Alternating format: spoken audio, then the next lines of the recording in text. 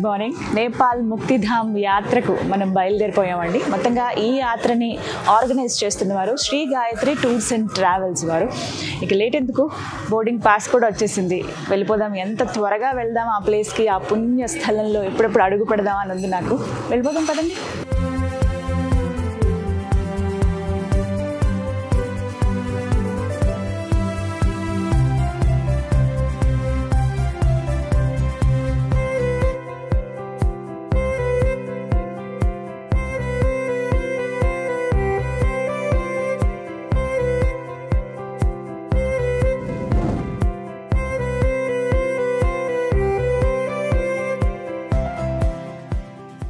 ఇప్పుడు మనం పాట్నా నుండి బయలుదేరుతూ ఆన్ ద వే జనక్పూర్ వెళ్ళేటువంటి దూరంలో మనకు ఒక హాఫ్ డిస్టెన్స్లో సీతామడి ఇంకోటి సీతామర్హి అని అలహాబాద్ తర్వాత వారణాసి మధ్యలో వచ్చేటువంటిది. అక్కడ అమ్మవారు భూమిలోకి వెళ్తుంటే రాముల వారు వెళ్ళొద్దు అని వెంట్రుకలు పట్టుకుంటే అవన్నీ గడ్డి రూపంలో వచ్చి కర్లింగ్ హైర్స్ ఎట్లా ఉంటాయో అక్కడ గడ్డి రూపంలో అమ్మవారి చేతికి వచ్చేసరికి ఆ వెంట్రుకలన్నీ ఆ ప్రదేశంలో ఆ యొక్క చెట్లన్నీ కూడా నాటితే ఆ మొక్కలన్నీ కూడా కర్లింగ్ హెయిర్స్ లాగా మొలుసు మొలిచి ఉంటాయట. మీరు అందరూ చాలా మంది చూసే ఉంటారు.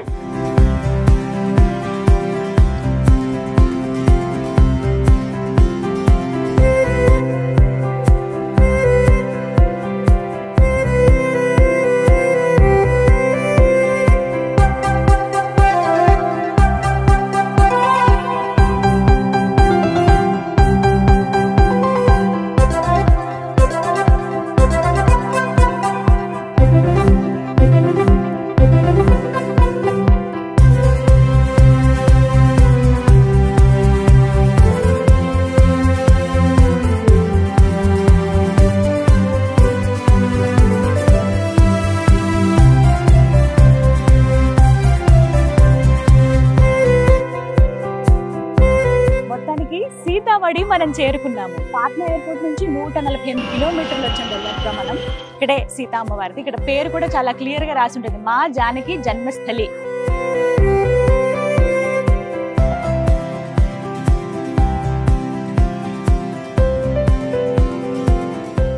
గరుడ గమన తవ చరణ కమలమిహ మనసిల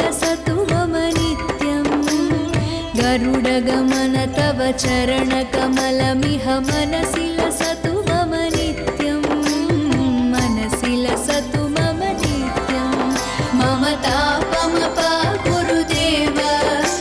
మొత్తానికి సీతామడి మనం చేరుకున్నాము. ఆ సీత అమ్మవారు జనక మహారాజుకి దొరికినటువంటి ప్రదేశం అండి.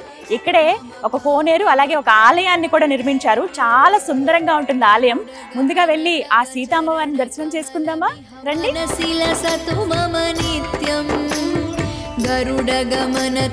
చరణ కమలమిహ. మనసిల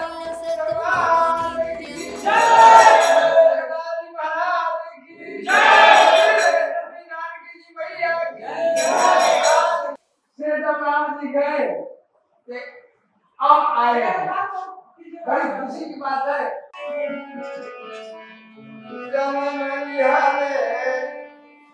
चारों भैया जन्म लिहले चारो भैया आबद में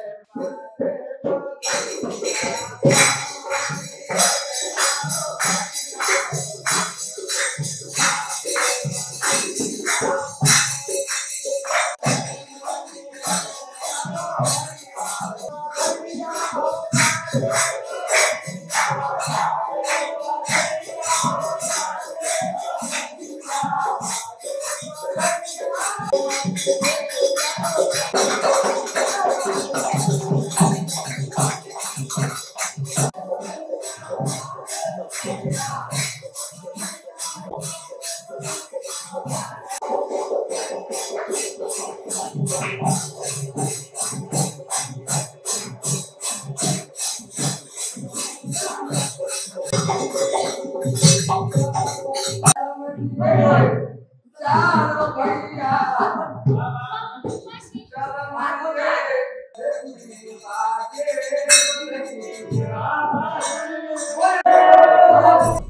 దర్శనం ఎంత చక్కగా జరిగిందో మూర్తులు అయితే కన్నులు విందుగా ఉన్నాయండి అసలు.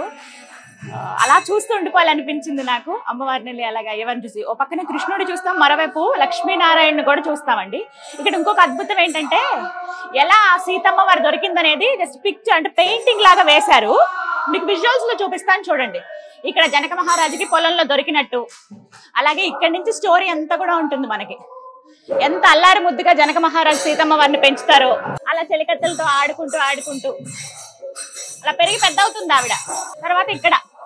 పూజా మందిరంలో శివధనస్సు అలా పెట్టి ఉంటుందన్నమాట. వరం ద్వారా వచ్చింది జనక మహారాజుకి. అది ఎవరు ఎత్తలేరు పట్టుకోలేరు నిత్యం పూజ చేస్తారు. అందులో భాగంగా పూజా మందిరంలోనే ఉంటుంది. ఆడుకునేటప్పుడు ఏమైందంటే సీతాదేవి చెలికత్తెలతో ఒక బంతి వాటి కిందకి వెళ్ళిపోతుంది. అయితే ఆమె ఏం చేసింది? బంతి కదా కావాలి పైన ఏముందనే చూడలేదు. శివధనస్సును తీసి ఇలా పక్కన పెట్టేసి ఆ బంతి తీసుకుంది. ఆ దృశ్యం జనక మహారాజు చూస్తారు. అసలు ఎంత అద్భుతం అంత చిన్న పాప ఎలా అసలు శివధనస్సు ఎత్తగలిగిందని చెప్పి ఎవరైతే ఆ శివధనస్సును ఎక్కుపెట్టి విరుస్తారో వాళ్ళకే జానకి మాతని ఇస్తానని అనుకుంటారు. అప్పుడు ఆ తర్వాత స్వయంవరం జరుగుతుంది కదా ఆ ఘట్టాలన్నమాట ఇవి ఇక్కడ స్వయంవరం. సీతారామ కళ్యాణం. అయితే చక్కగా పిక్చర్స్లో వేశారు. చాలా చాలా బాగుంది. అయితే నిత్యం భజనలు జరుగుతూనే ఉంటాయండి. వాళ్ళు ఎంత తన్మయత్వంతో ఉన్నారు. కొంతమంది అయితే నృత్యం చేస్తూ ఉన్నారు. ప్రతిరోజు ఇలాగే భజన కార్యక్రమాలు జరుగుతూ ఉంటాయి. సందడిగా ఉంటుంది.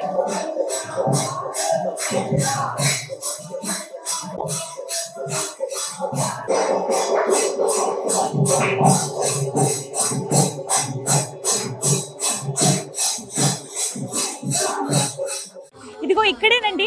సీతమ్మ తల్లి జనక మహారాజుకి దొరికినటువంటి స్థలం అన్నమాట. పురాణాల్లో ఖచ్చితమైన ఆధారాలు కూడా ఉన్నాయి. ఇదే ప్రాంతంలో అమ్మవారు ఆ బుజ్జి బంగారు తల్లి జనక మహారాజుకి ఒక పెట్టెలో అంటే ఒక మందసంలో కనిపించారని చెప్పి జనక మహారాజు పొలం దున్నుతారు కదా దున్నేటప్పుడు ఒక మందసంలో ఒక చిన్ని బంగారు తల్లి కనిపిస్తుంది కదా ఆవిడ సీతమ్మ ఆవిడ దొరికిన ప్రదేశం ఇక్కడే. ఇంతకు ముందంటే ఇక్కడ పొలాలు ఉండేవి ఆ తర్వాత తర్వాత ఈ ప్రాంతం ఇంతటి పవిత్ర స్థలాన్ని మనం కాపాడుకుంటూ రావాలి తర్వాత తరాల వారికి తెలియాలనే ఉద్దేశంతో మొత్తం అంతా డెవలప్ చేశారు. ఒక కోనేటి లాగా అంటే ముందు మనం ఆలయం చూస్తాం చూస్తాం. ఆలయం వెనుక భాగంలో అమ్మవారు దొరికిన ప్రదేశాన్ని ఇక్కడ కోనేరులాగా తయారు చేశారు. దగ్గరికి వెళ్దాం రండి. దండం పెట్టుకుందాం. భవ మదన జనక మమ జనన మరణ భయహారి. అమ్మవారు దొరికిన ప్రదేశం ఇది. నిజంగా చాలా సంతోషం అనిపించింది. జీవితంలో కొన్ని కొన్ని ఖచ్చితంగా మనం చూడాలంటే తెలుసుకోవాలి వాటి గురించి అంటారు కదా. అందులో ఆ సీతమ్మ తల్లి దొరికినటువంటి ప్రదేశమా? ఎంతటి మహద్భాగ్యం ఇక్కడికి రావటం? ఈ స్థలంలో అడుగు పెట్టడమే ఒక పుణ్యంగా భావించాలి. ఒకసారి దండం పెట్టుకుంటాను.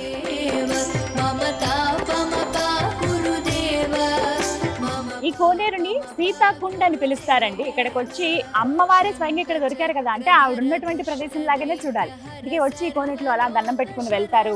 దీపాలు వెలిగిస్తారు.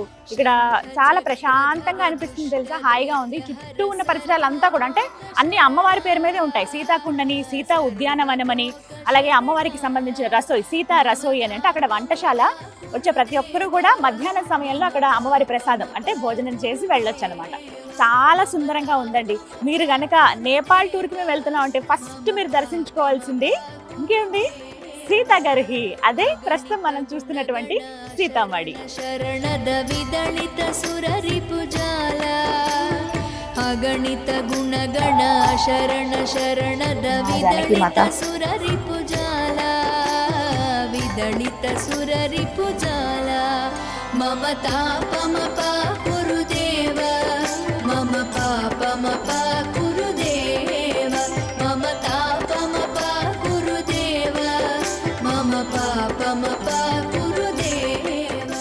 ఆలయం చుట్టూ కూడా ఎంత సుందరంగా అలంకరించారో తెలుసా? అంటే పూల మొక్కలతోనే పూర్తిగా మొక్కలతో నింపేశారు. గ్రీనరీ మనకి కనిపిస్తున్నట్టు ఒక సుందరమైన ఉద్యానవనం లాగా కనబడుతుంది. అదే సీతా ఉద్యానవనం.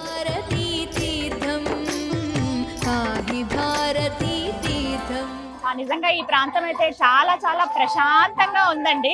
ఆ భజనలు కీర్తనలు అవి వింటూ ఉంటే రాముడి గురించి చాలా బాగుంది. బయట నుంచి కూడా టెంపుల్ చూసిన పగలు కూడా బాగుంటుంది. ఇక్కడ ఇంకో ప్రత్యేకత ఏంటంటే జనక మహారాజు అలాగే సీతమ్మ వారు చిన్నప్పుడు శివుణ్ణి ఆరాధించే వాళ్ళు కదా శివాలయాలు కూడా ఉంటాయి. ఇంకా ప్రత్యేకం నాకు ఇవాళ చాలా సంతోషంగా అనిపించింది. అమ్మవారు నాకు తాంబూలం ఇచ్చారు. అసలు వారు ఇచ్చినటువంటి తాంబూలంలో ఏమేమి ఉన్నాయో తెలుసా? చూపిస్తా చూడండి. ముందుగా ఒక మాల ఇచ్చారు. బంతిపూల మాల అలాగే స్టిక్కర్ ప్యాకెట్. బొట్టు బిల్లలు ఇక కొబ్బరికాయ ప్రసాదం అలాగే భలే స్వీట్గా ఉంటాయి ఇవి. అలాగే సింధూరం హనుమాన్. హనుమాన్ ఆలయాలు కూడా చుట్టూ చాలా ఉన్నాయి.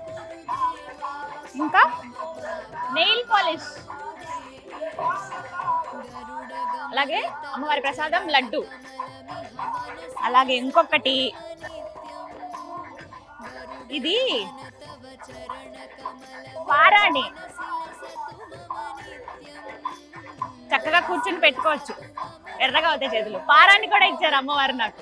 చాలా బాగుందండి. ఫస్ట్ టైం నేను ఒక ఆలయకు వెళ్తే ఇన్ని ఇలాగ తాంబూలంలో ఇస్తారా అని చెప్పి అంటే ఒక బ్లౌజ్ పీసు అలాగా మాల అరటిపళ్ళు అంటే ఫ్రూట్స్ అవి ఇవ్వడం కామన్ కానీ ఇక్కడ సీతామడిలో ఇది ప్రత్యేకం అనమాట అమ్మవారి దర్శనానికి వచ్చిన వాళ్ళకి ఇలా ఇచ్చి పంపిస్తారు. మరి ముఖ్యంగా ఆడవాళ్ళకి.